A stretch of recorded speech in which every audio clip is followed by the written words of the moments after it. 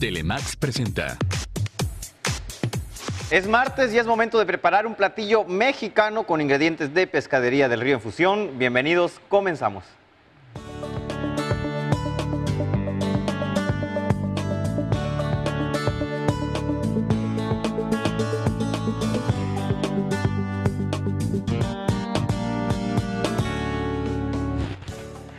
Hay dos teorías acerca de los mandiles o las filipinas embarradas. Dicen que no deben de estar eh, sucias porque implica que el chef es muy cochino y otros dicen que si no están sucias quiere decir que el chef no cocina. Pero bueno, me da mucho gusto que me dejen entrar hasta su cocina. Por mi parte, lo invito a que pasen a la cocina de fusión.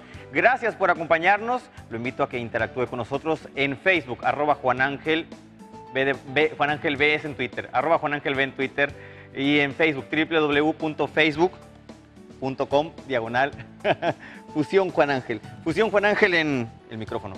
Fusión Juan Ángel en Facebook, así me pueden encontrar. Y en YouTube el canal se llama Fusión Telemax.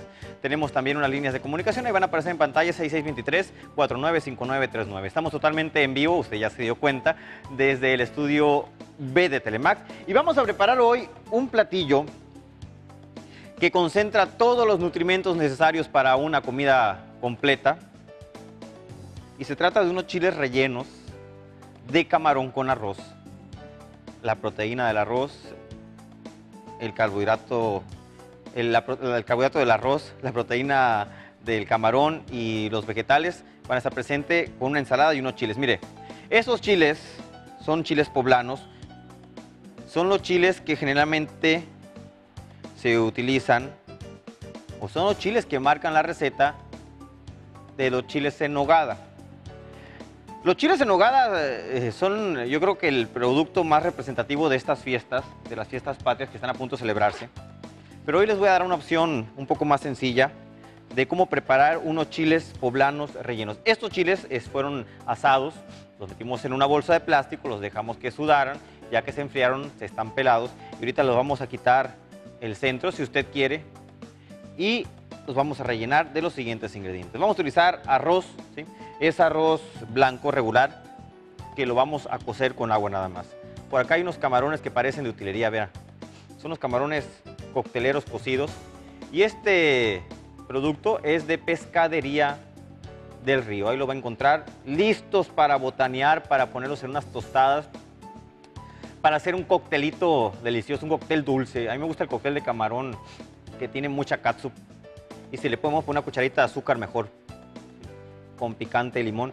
Y mira esta salsa. Esa salsa nada más la traigo para, para provocar el antojo.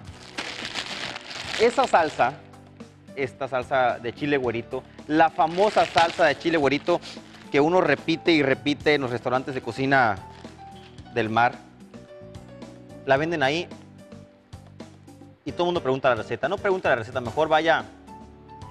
mm, Pescadería del Río. Pica. Y la compra ahí. Vamos a utilizar bastante, pica bastante. Vamos a utilizar queso manchego o cualquier queso que gratine asadero, gouda. Hay queso regional que también gratina, mantequilla, orégano. De este lado hay unos dientes de ajo, granulado de pollo. Mire, aquí tengo una ensalada fresca que prepararon el día de hoy ahí en Pescadería de Río y tiene su aderezo de chipotle. Además, vamos a utilizar unas cebollas cambray, que obviamente son de frutería Las Güeritas, al igual que los demás ingredientes que están en esta canasta. Los chiles, los chiles eh, poblanos son, son estos, nada más que yo ya los traigo preparados desde casa. Estos productos los va a encontrar en Frutería Las Güeritas, sabe en pantalla la ubicación, están en Maza de Juárez y Rebeico. Margarita Maza de Juárez y Rebeico en la colonia Miguel Hidalgo. Ella es una de las güeritas, Abigail y Beida aquí los esperan en Frutería Las Güeritas para consentirlos con precios muy accesibles. Ayer me estaba diciendo una compañera de trabajo que fue, vio la publicidad y fue, y se surtió de fíjese, son cinco integrantes de la familia. Cinco integrantes de la familia y se surtió con 129 pesos de toda la fruta y verdura que iba a ocupar en la semana. Conozco a esa familia y sé que todos son de muy buen diente. Cinco integrantes, se surtió de fruta y verdura de fruterías Güerita por 129 pesos. ¿Entre cinco cuánto es? Ahorita voy a sacar la cuenta con la calculadora. Vamos con Victoria Salazar, regresamos en un momento.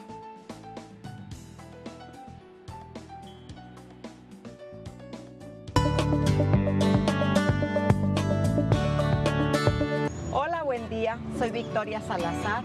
Hoy hablaremos del Alzheimer, una enfermedad crónico-degenerativa. Cada día se vuelve más agitada nuestra vida y el exceso de estrés aumenta los índices de Alzheimer. Actualmente, esta enfermedad afecta a 15% de las personas mayores de 65 años.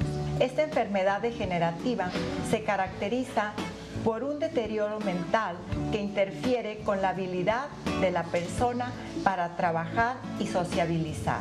La memoria y el pensamiento abstracto se pierden y se sufren cambios de humor y personalidad, desorientación en la percepción del espacio y del tiempo e incapacidad para concentrarse y comunicarse. Recuerda, cuida tu cuerpo y te durará toda la vida. Ya estamos de regreso y voy a dar lectura a sus comentarios ayer. Lo invito a que siga las redes sociales de Telemax. ¿eh? Busque Telemax Sonora en Facebook. Ayer publicaron algo este, muy interesante que compartí en mi fanpage, en Fusión Juan Ángel, y se trata acerca de esta cosa, de estas cosas que están aquí. A ver si usted las logra ver. ¿Saben ustedes qué son? No tienen que ver nada con la comida, pero sí tienen que ver con los recuerdos que a mí lo personalmente en la comida. Son las famosas teguas sonorenses. Ahorita les platico de qué se trata. Vamos a un corte y regresamos para continuar cocinando.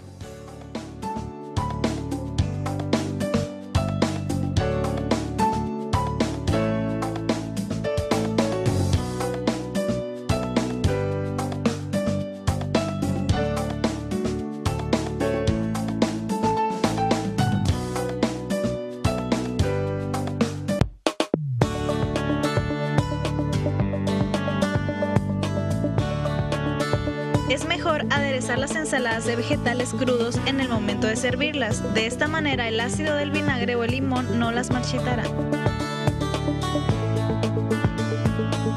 Me gustan mucho esos tips porque son cosas que parecen tan simples, pero pueden arrui- arruinar una cena o una comida. ¿eh? Si usted tiene invitados a comer y hace una vinagreta y cuando la prepara, la pone en la ensalada y los invitados llegan una hora después, la ensalada va a parecer un mazocote muy feo, de muy mal aspecto y que van a dar, le van a dar pocas ganas de comerlo. Entonces, cuando vaya a preparar una ensalada, primero haga la vinagreta, resérvela y en el momento en que la vaya a servir, ahí le pone la vinagreta porque va a matar la lechuga y cualquier otro vegetal blando del vinagre.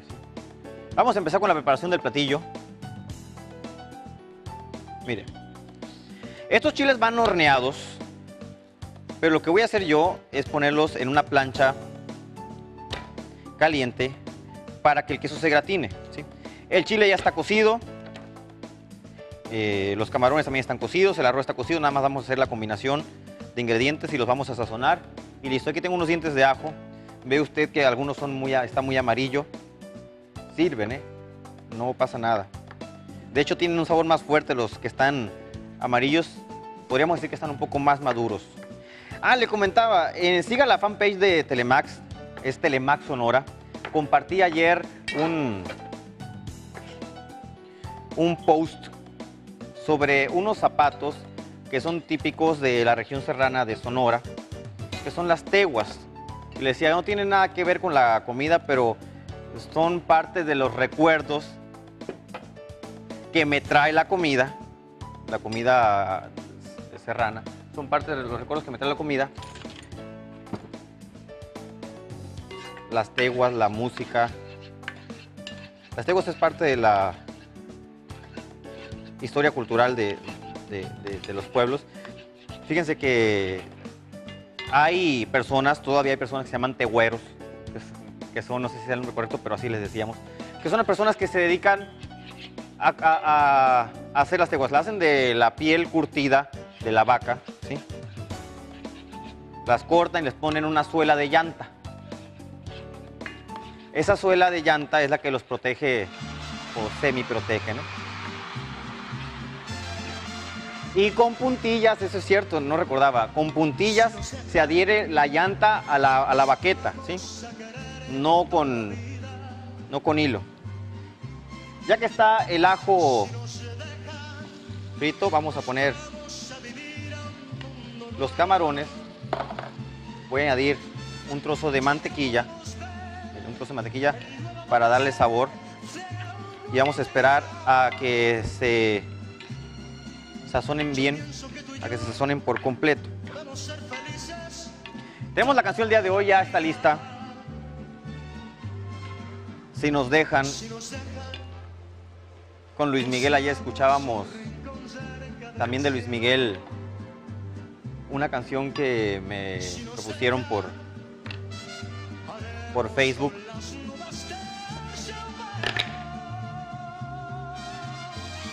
Sal. Recuerde que la mantequilla ya tiene sal. Los camarones los puede encontrar ya cocidos. Si no, en casa, cocínelos usted mismo. Eh, es muy sencillo. Nada más los pela, los puede pelar antes o después. Los mete en agua y cuando toman un color rosado ya están listos. Por acá puse a cocer el arroz. Mire. Vea cómo queda.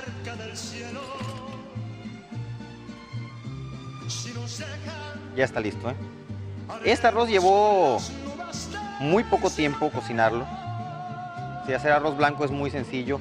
Y usted si quiere tenerlo listo lo puede preparar. Yo lo preparo el viernes o el sábado y ya lo tengo listo para toda la, para toda la semana. Gracias a las personas que se han comunicado. Eh, regresando al comentario este de las, de las teguas, dice, dice Irma Romero, un tío mío las usaba mucho.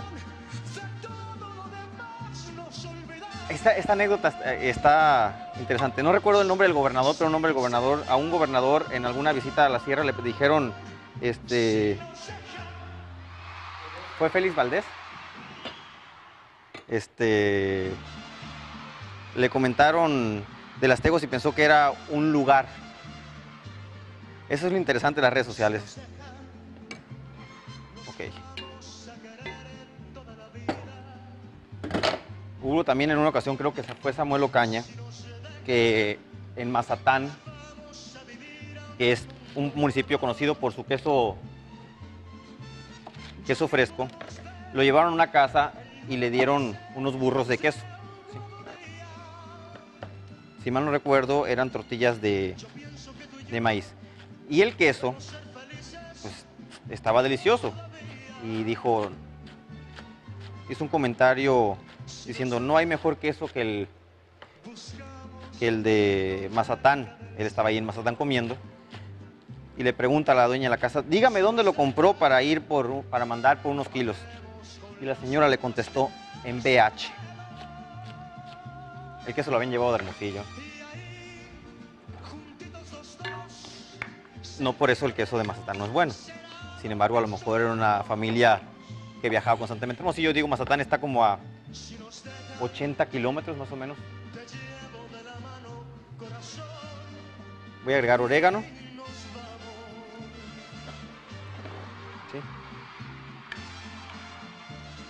Este camarón soltó una poca de agua debido a la cocción que tuvo previamente. Vamos a colocar el arroz. Usted puede poner jaiba en lugar de camarón, puede poner pescado, cebollín, rabos de cebolla. Mire. Y con esta preparación que pareciera puede comerse así tal cual, y no pareciera, puede comerse así tal cual, vamos a rellenar los chiles. Voy a ir limpiando los chiles, los vamos a abrir y ahorita regresamos.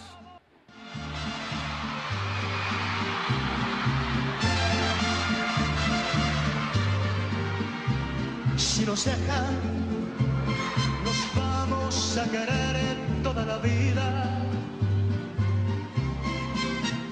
Si nos dejan.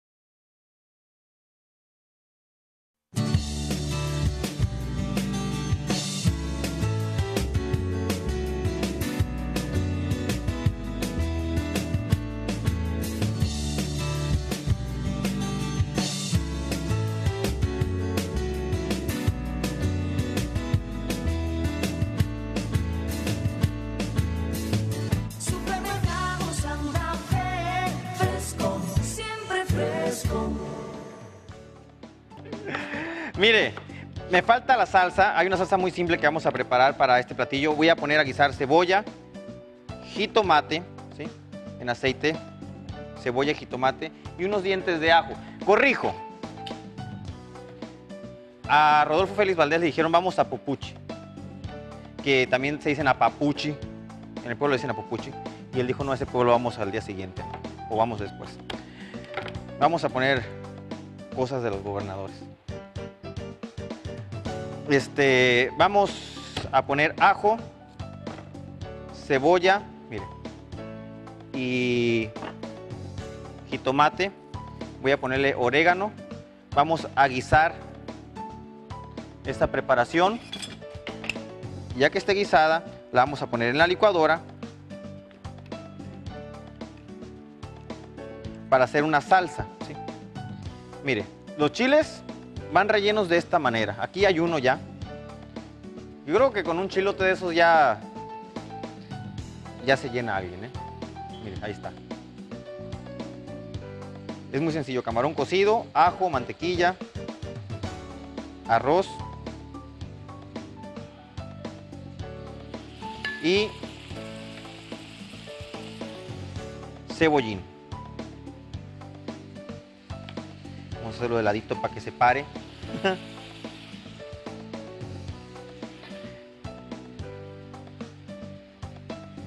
Ahí está. Aquí tengo un- una plancha bastante caliente. Y vamos a poner los chiles, pero antes voy a hacer la salsa. Ah. A ver, ahí va. Voy a poner los ingredientes de la salsa en la licuadora. Con todo el aceite, el orégano.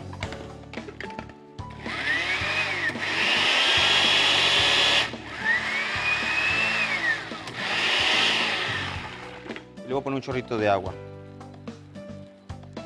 Me pidieron que le pusiera habanero. Le voy a poner, le voy a poner la puntita nomás. Ahí está, mire. Ahí va a caer. Ahí cayó.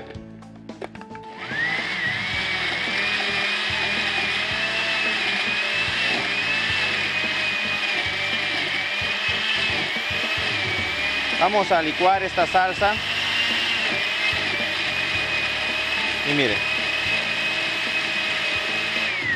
Vamos a hacer lo siguiente. Voy a poner los chiles en esta plancha, que está bastante caliente ya. Les voy a agregar salsa.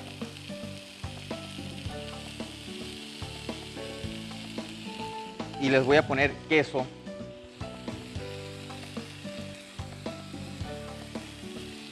Un chorrito de agua para que haga el vapor respectivo. Se gratine el queso y los voy a tapar. Vamos a la sección en cinco pasos. Yo regreso con ustedes en unos segundos.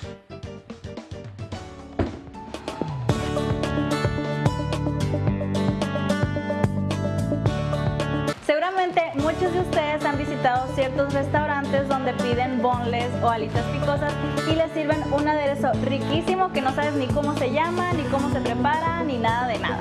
Pues ese aderezo se los vengo a preparar y esto lo vamos a hacer en cinco pasos. Vamos a comenzar consiguiendo los ingredientes. Vamos a utilizar media crema, jugo de limón, jugo sazonador, mayonesa, sal y pimienta al gusto. El paso número 2 es incorporar todos los ingredientes a la licuadora y mezclar.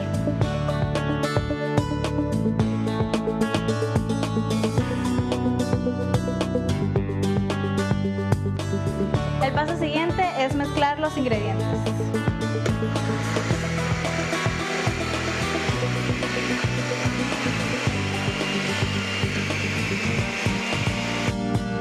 El paso siguiente es servir nuestro aderezo.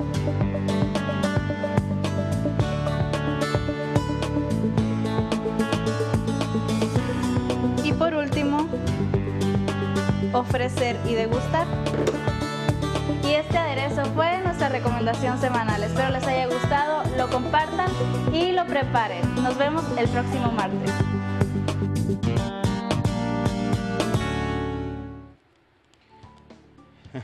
Estoy en la, en la concentración.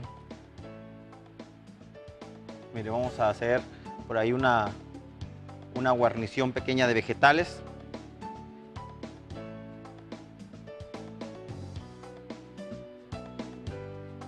Y luego vamos a poner el chile encima. Miren nada más. Qué delicia. No ocupé ni siquiera el horno, no ocupé capearlo. La única grasa que tiene aquí, que a lo mejor podría ser un poco este, saturada, es la del queso, pero tiene grasa buena del camarón, arroz cocido. Es decir, es un platillo bastante saludable. Vean nada más.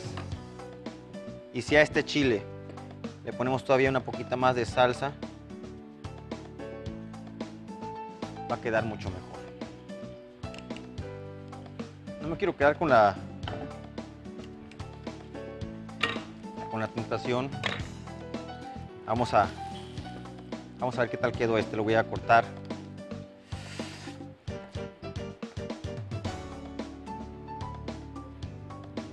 Miren nada más. Nos tenemos que ir. Yo voy a probar esa preparación. Recuerde que la receta la van a encontrar más adelante en Fusión.